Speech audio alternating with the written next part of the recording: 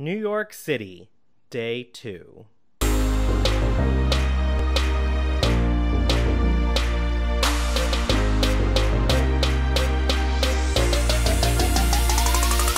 doors, please.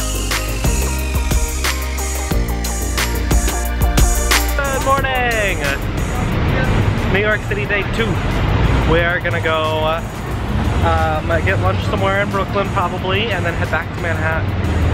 So it should be an interesting day, a fun day. By the time we checked out of the hotel, we wandered around a few blocks of Brooklyn and stumbled across the entrance for the Brooklyn Bridge.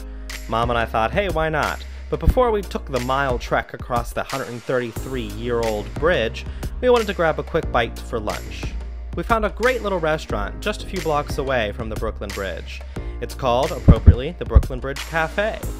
We sat there with our grilled cheese and our hummus and enjoyed a nice, long, relaxing lunch.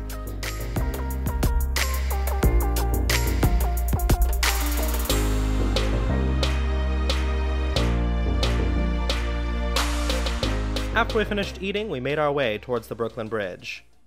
It's about a mile long of a walk and well worth it. It's relaxing, it's nice and sunny, and it's a little bit of exercise.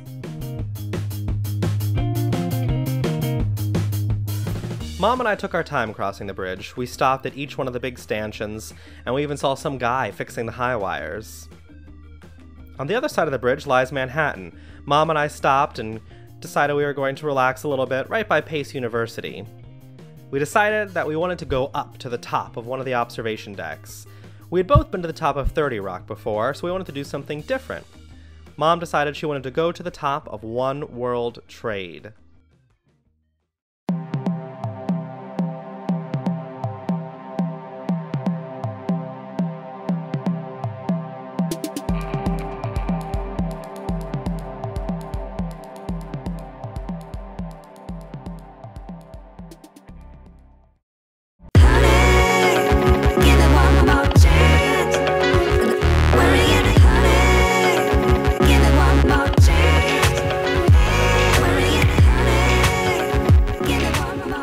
Top of One World Trade was incredible.